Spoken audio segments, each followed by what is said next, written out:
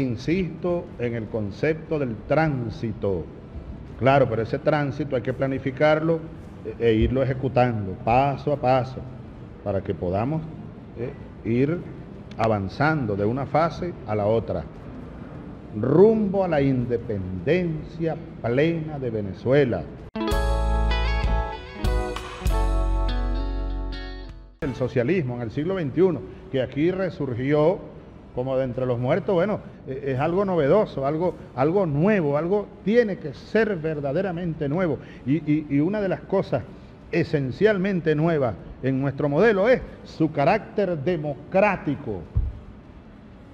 Democrático. Una nueva hegemonía democrática. Y por tanto, eso nos obliga a nosotros a qué? No a imponer, sino a convencer. La revolución política es previa a la económica. Siempre tiene que ser así. Primero revolución política, liberación política y luego viene la revolución económica. Hay que mantener la liberación política y de allí la batalla política que es permanente, la batalla cultural, la batalla social. Ahora con el nuevo ciclo que se abre, Debemos ser más eficientes en el tránsito, en la construcción del nuevo modelo político, económico, social, cultural, la revolución.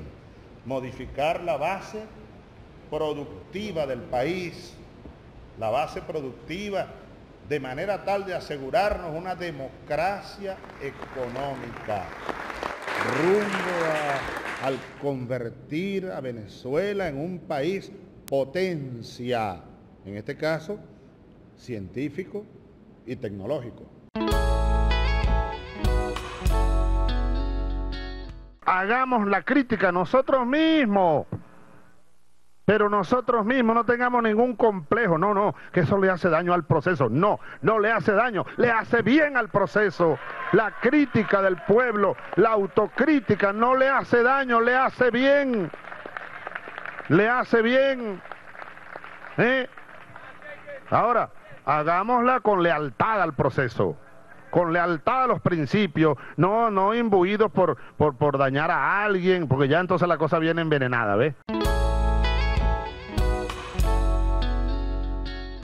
La comuna, el poder popular.